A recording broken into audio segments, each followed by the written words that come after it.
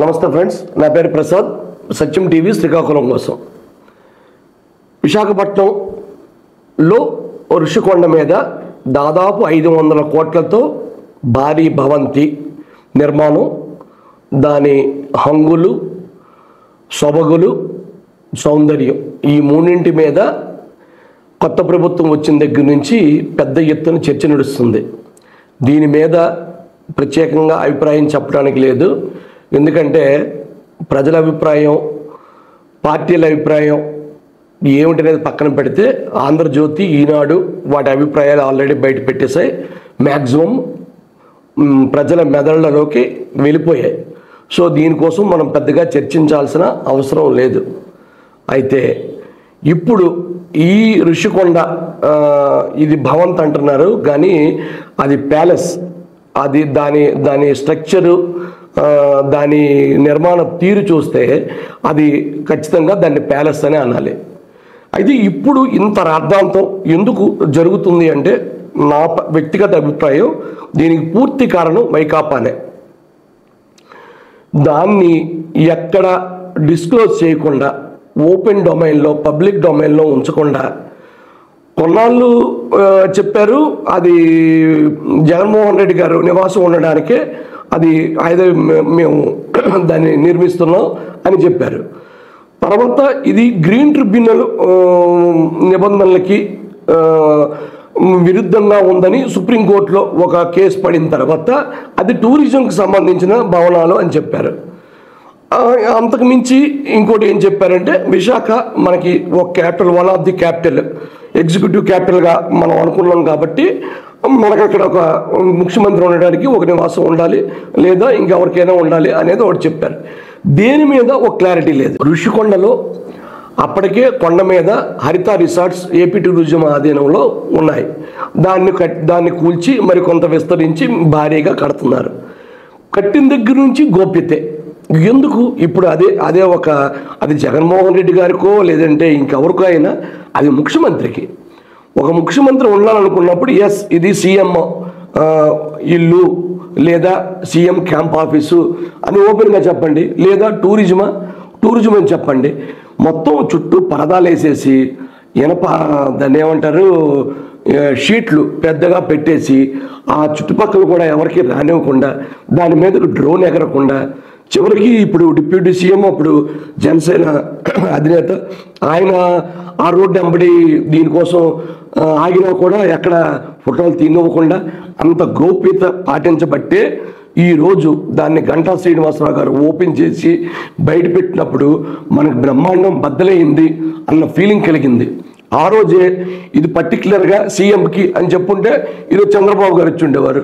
లేదు జగన్మోహన్ రెడ్డి గారు గెలిచుంటే ఆయన వచ్చి ఉండేవారు లేదు ఇది రాష్ట్రపతి భవన్. వేసవి బిడిదో చలికాలం బిడిదో వర్షాకాలం బిడిదో అని చెప్పండి. లేదు టూరిజంకి ఇచ్చేస్తున్నాం. అంటే మీరు అప్పుడే దానిలో సందర్శకుల్ని అప్పుడే దాన్ని విడిచిపెట్టాల్సింది.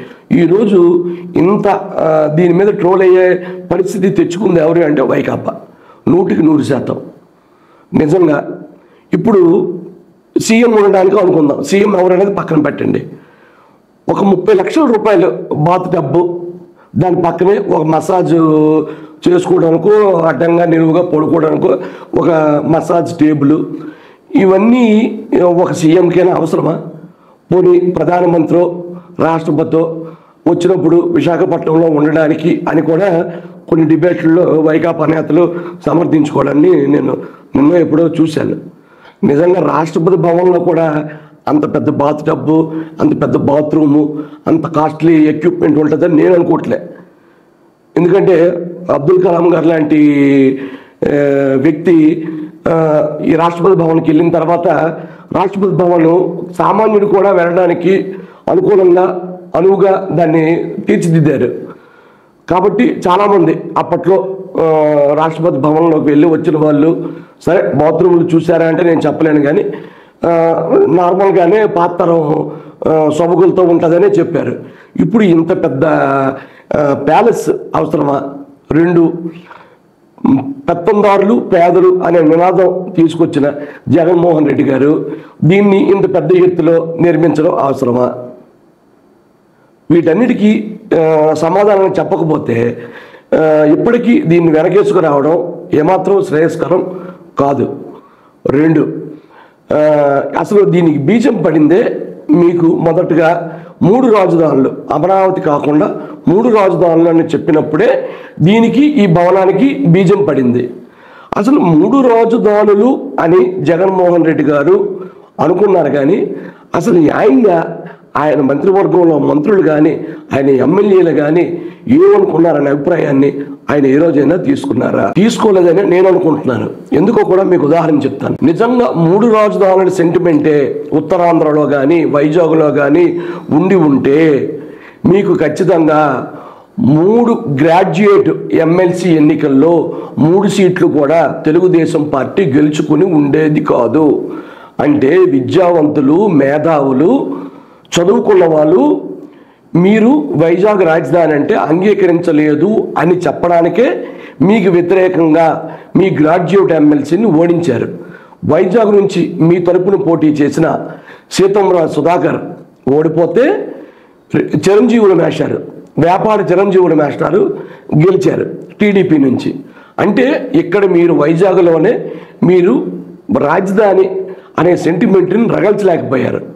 ఇక రాజధాని అంశం కోసం ఉత్తరాంధ్ర స్థాయిలో ఇక్కడ ధర్మాన ప్రసాదరావు గారు లాంటి సీనియర్లు పక్క జిల్లాలో బొత్సత్యబాబు లాంటి చతురులు అందరూ కూడా ఎక్కడికక్కడ మేధావుల్ని లేదా మేధావులు అని చెప్పుకునే వాళ్ళని కూర్చోబెట్టి ఇక్కడ మాకు కూడా ఆ పక్కన మాకు పక్క కాన్స్టిట్యున్సీ ఆంధ్రాల స్పీకర్ గారు అప్పటి స్పీకర్ తమ్మినేని సీతారాం గారు పాపం యూనివర్సిటీలో పనిచేస్తున్న వాళ్ళందరూ మేధావులే కావాలని ఎక్కడికక్కడ బలవంతంగా ఈ సెమినార్లు కండక్ట్ చేశారు. అయినా కూడా ఇక్కడ ఓడిపోయింది గ్రాడ్యుయేట్ ఎమ్మెల్సీ. అప్పుడే భావించాలి ఇక్కడ సెంటిమెంటు లేదు ఒక ముక్కలో చెప్పాలంటే వ్యతిరేకిస్తున్నారు అని. అయినా కూడా ఆ భవనాన్ని ఆపకుండా పెద్ద ఎత్తున కట్టుకుపోయారు. ఇప్పుడు అదే వైకాపాకి ఓటమి కన్నా పెద్ద డ్యామేజ్. అన్నిటికంటే మించి మీకు ఒక డేటా మీకు చిన్న డేటా మీకు చూపిస్తాను. అసలు ఏ మేరకు వైజాగ్ ప్రజలు మీకు ఈ వైజాగ్ రాజధానిని వ్యతిరేకిస్తున్నారు అనడానికి మీకు డేటా చూపిస్తాను. పోల్ పెర్స్పెక్టివ్ అని ఒక ఇంగ్లీష్ పత్రికలో వచ్చిన డేటా ఈ కథనం ఇది పోల్ పెర్స్పెక్టివ్. దీంట్లో చెప్పిన విషయాలు మీకు క్షుణ్ణంగా రెండు రెండు ముక్కల్లో చెప్తాను. విశాఖ రాజధానిని వ్యతిరేకించారు అని చెప్పడానికి ఈ ఈ ఈ ఓటింగ్ సరళే మీకు నిదర్శనం. రెండు వేల ఇరవై ఒకటిలో వైజాగ్ కార్పొరేషన్ ఎన్నికలు జరిగితే వైకాపాకు నలభై నాలుగు శాతం ఓట్లు వచ్చాయి. అదే టైంలో టీడీపీకి ముప్పై నాలుగు శాతం జనసేనకి ఎనిమిది శాతం భాజపా అంటే బీజేపీకి నాలుగు శాతం ఓట్లు వచ్చాయి. అవే రెండు వేల ఇరవై నాలుగు జనరల్ ఎన్నికలకు తీసుకుంటే కూటమికి అరవై ఎనిమిది శాతం ఓట్లు వచ్చాయి. అసెంబ్లీ ఎన్నికల్లో ఉత్తరాంధ్ర మొత్తం కూటమి క్లీన్ స్వీప్ చేసి పారేసింది. మరీ ముఖ్యంగా వైజాగ్ పార్లమెంటు కూటమి అభ్యర్థి భరత్ ఐదు లక్షల పైచీలకు ఓట్లతో గెలిచారు. ఇరవై ఐదు సీట్లలో ఇంత పెద్ద ఎక్కువ మెజార్టీ వచ్చింది ఈ రాష్ట్రంలో ఇద్దరే అయితే అందులో ఒకటి వైజాగ్ ఎంపీ భరత్ అంటే మీకు ఎంత పెద్ద ఎత్తున విశాఖపట్నంలో రాజధాని వద్దు అని ప్రజలు తీర్పునిచ్చారో ఆలోచించండి. అసలు ఇంతవరకు తీసుకురాకుండా గ్రాడ్యుయేట్ ఎమ్మెల్సీ ఎన్నికలు అయిన వెంటనే దీని మీద ఓ సమీక్ష ఓ ఓ సమావేశం నిర్వహించుంటే ఖచ్చితంగా ఈ రిజల్ట్ ఇలా ఉండేది కాదు. మూడు రాజధానుల విషయంలో జగన్ గారి ఆలోచనలకి ప్రజలు జయకొట్టలేదని ఇప్పుడు మనం చెప్పుకున్నాం. కార్యకర్తలు రాజకీయ నాయకులు జయకొట్టారంటే దానికి ఒక అర్థం ఉంది. ఎందుకంటే ఎవరు జగన్మోహన్ రెడ్డి గారి దగ్గరికి వెళ్ళి చెప్పలేరు. ఇది ఈ నిర్ణయం కరెక్ట్ కాదని ఒకవేళ చెప్పాలనుకున్నా ఆయన అపాయింట్మెంట్ ఇచ్చేవాడు కాదు. కానీ దరిద్రం ఏంటంటే దరిద్రం. దరిద్రం ఏంటంటే మేధావులు విద్యార్థులు ప్రొఫెసర్ల ముసుగులో పౌర సమాజం కూడా ఈ వైజాగ్ రాజధానిని సమర్థించింది. ఎక్కడికక్కడ వైకాపా పెట్టిన సమావేశాలకు వెళ్ళి వైజాగ్ రాజధాని వస్తే మన బతుకులు బాగుపడిపోతాయని చెప్పుకొచ్చింది. ఇది నమ్మి నిజంగా వైజాగ్ కోరుకుంటున్నారని జగన్మోహన్ రెడ్డి ఓ ఈ భారీ ప్యాలెస్ని కట్టి ఈరోజు ఆ బాత్రూంలో ఆయన పడిపోయాడు. ఆ టబ్బులోనే నీళ్ళు లేని టబ్బులోనే ఆయన పడిపోయాడు లిటరల్గా.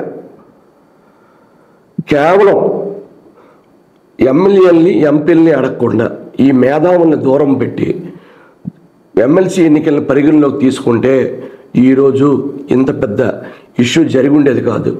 ఇక దీని మీద వైకాపా డ్యామేజ్ కంట్రోల్ కోసం పదకొండు వందల కోట్లతో సచివాలయం తర్వాత అదే అమరావతిలో కట్టిన తాత్కాలిక సచివాలయాలు ఇవన్నీ కూడా చూపించి వర్షానికి కారిపోయేవి.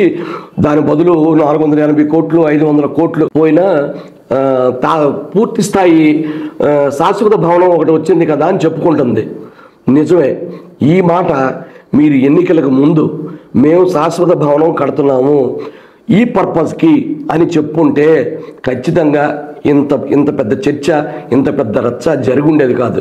కేవలం మూడు రాజధానుల అంశమే మీకు ఈ రాష్ట్రంలో కోస్తా ప్రాంతంలో జగన్మోహన్ రెడ్డికి సీట్లు రాకుండా చేస్తే రాయలసీమలో సీట్లు గణనీయంగా తగ్గిపోతే ఉత్తరాంధ్రలో ఈ విశాఖపట్నం రాజధాని అయితే ఉత్తరాంధ్ర సగటు ఉత్తరాంధ్ర వాసి వైజాగ్ వెళ్ళడానికి ఇప్పటికే హైవే దిగితే రెండు గంటలు పడుతుంటే ఇంకా రాజధాని అయి హై ప్రోటోకాల్ వస్తే జగన్మోహన్ రెడ్డి అక్కడే చేరుకుంటే చుట్టూ పరదాలు కడితే ఐఏఎస్లు ఐపీఎస్లు చీఫ్ సెక్రటరీలు విఐపీలు వీళ్ళంతా అక్కడ చేరుకుంటే వైజాగ్లో ఆ రోడ్ల మీద తిరగడం మా తరం కాదు మహాప్రభు అని చెప్పడమే ఈ ఎన్నికల ఫలితాలు. అమరావతిని రాజధాని చేయకపోవడం వల్ల ఒకచోట విశాఖపట్నాన్ని రాజధాని చేస్తామనడం వల్ల మరో చోట జగన్మోహన్ రెడ్డి ఈరోజు పదకొండు సీట్లకు పరిమితమైపోయారు. ఇప్పటికైనా ఇంకా ప్యాలెస్లో ఇంకా అనేక విషయాలు బయటకు వస్తాయి. గంటా గారు తొందరపడ్డారా? లేదు ఇది పార్టీకి మేలు చేస్తుందా? అంటే టీడీపీకి మేలు చేస్తుందా? కీడు చేస్తుందా తెలియాలంటే ముందు సోషల్ మీడియాలో వైకాపా తరపున స్పందించే బ్యాచ్ ఇప్పుడు కనిపించడం లేదు. సో సగటు జగన్ అభిమాని మాత్రం ఐదు వందల కోట్లతో పక్కా భవనం వచ్చిందని చెప్తున్నాడు కానీ దీన్ని కౌంటర్ వేయడానికి ప్రస్తుతం వైకాపా దగ్గర సరైన నాయకత్వం సోషల్ మీడియా కనిపించడం లేదు. కారణం పదకొండు సీట్ల లో మాత్రమే గెలుపు పార్టీని కుచించుకుపోయేలా చేసింది. పార్టీ క్యాడర్ని నిర్వీర్యం చేసింది. ఇంకా నిర్వీర్యం ఇప్పుడు అవడం ఏంటి? జగన్మోహన్ రెడ్డి ఎప్పుడో చేస్తారంటారా? అది వేరే విషయం. సెలవు.